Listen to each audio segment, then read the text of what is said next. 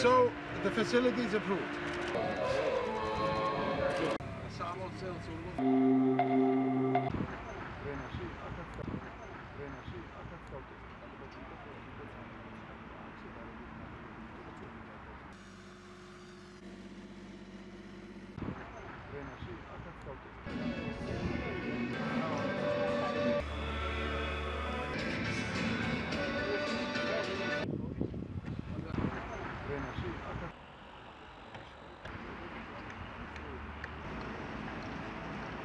10 საერთაშორისო სტანდარტის UEFA სტანდარტის სტადიონი შეემატა ქვეყანას.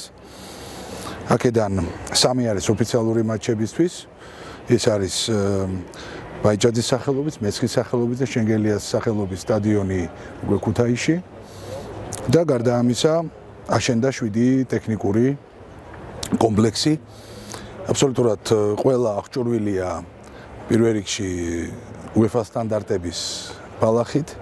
თავისი შესაბამისი ინფრასტრუქტურით, როგორც არის სარწყავი, სადრენაჟო, შესაბამისი ფენები მოეწყო იმდაგვარად, რომ რეალურად ყველაზე თანამედროვე ტიპის ბალახი არის წარმოდგენილი, რომელიც კარგი არის როგორც აა ფეხბურთისთვის, ასევე სხვა სპორტის სახეობებისთვის, მათ შორის რაგბისთვის და ეს ძალიან მნიშვნელოვანია.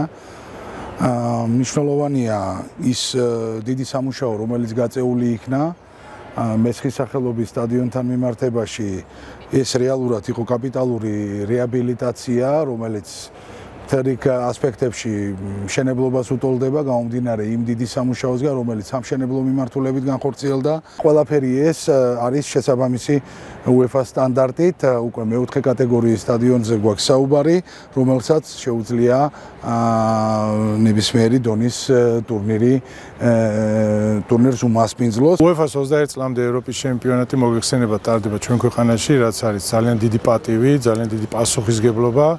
და ჩვენ ყველა ერთად საკმაოდ ბედნიერები ვართ, ერთ სიტყვით ვიტყოდი ამას, ვინაიდან არა მარტო სპორტული კუთხით, არამედ თუნდაც ინფრასტრუქტურის ინფრასტრუქტურის კუთხით, რასაც დღეს ჩვენ აქ ხედავთ და არა მარტო აქ, ანუ იცით რომ ასევე დინამო არენა, ასევე ქუთაისში, ბათუმში, უამრავ სხვა ქალაქებში სავარჯიშო ცენტრები გაკეთდა ამ ტურნირის ფარგლებში, რაც დიდი მონოპოვარია ჩვენი ქვეყნისთვის, კერძოდ რა თქმა უნდა, ფეხბურთისთვის და ზოგადად სპორტისთვის. ძალიან გვიხარია, ძალიან ბედნიერები ვართ. ველოდებით ამ ტურნირს, ყველანაირად მზათა ვართ, როგორც სახელმწიფო, ასევე ჩვენ ფეხბურთის ფედერაცია, სამინისტრო სპორტის, ყველანაირად ვემზადებით, რომ ღირსეულად უმასპინძლოთ.